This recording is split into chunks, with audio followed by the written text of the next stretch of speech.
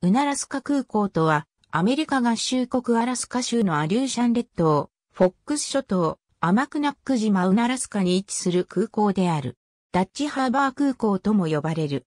アンカレッジ、シアトルから約 3140km に位置している。アスファルトの滑走路で幅30メートル、1250メートルの一本を有する。貨物船 ACE アンカレッジ連邦航空局によると、2008年には28,234人、2009年には26,705人、2010年には26,711人が利用した。マイクロソフトフライトシミュレーター X に付属のダッチハーバーアプローチのミッションとして登場する。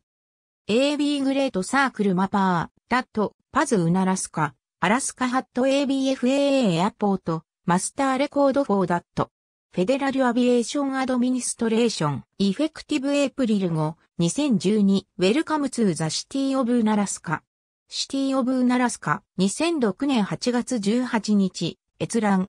ハウストランスポーテーションミニッツ、HB523、マドセンエアポート AT ダッチハーバー。アラスカステートレジスリッチャー、House of Representatives、2007年6月8日、閲覧。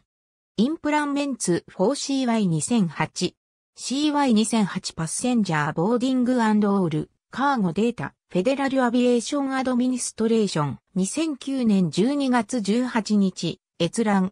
Enplanements for CY2010。CY2010 Passenger Boarding All、Cargo Data、Federal Aviation Administration、2011年10月4日、閲覧。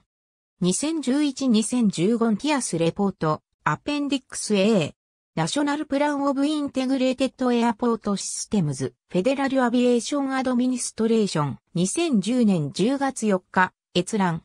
ありがとうございます。